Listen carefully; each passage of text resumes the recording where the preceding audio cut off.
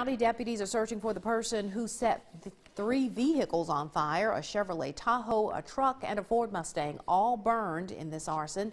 The vehicles were set on fire Wednesday around 10:30 p.m. on Sylvester Hudson Road.